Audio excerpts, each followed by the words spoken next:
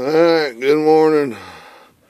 This is uh, actually the first day, but I got in yesterday around 11, 11 a.m. But uh, had a lot of work to do, but this is what I woke up to.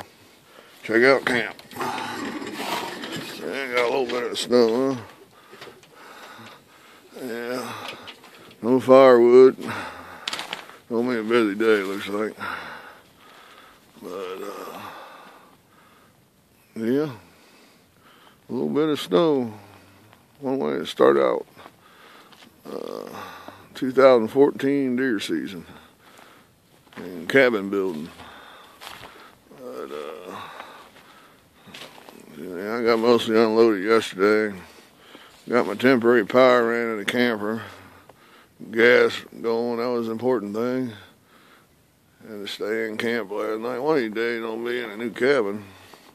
But uh, I just thought I'd do a quick video this morning because uh, I'll be running electric over this garage today temporarily. New power seems to be working good. Camp's got power. I'm warm. I'm got a place to sleep while I'm working up here. But uh, yeah, pretty good snow. pretty good snow. Uh, this is what camp looks like right now until I get some work done. But uh, a lot of work cut out. Our OW garage.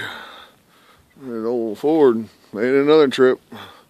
Going on about almost 167,000 right now. But, uh, well, I just thought I'd do a quick video also. See, I see some more work done when I get done here. But, uh,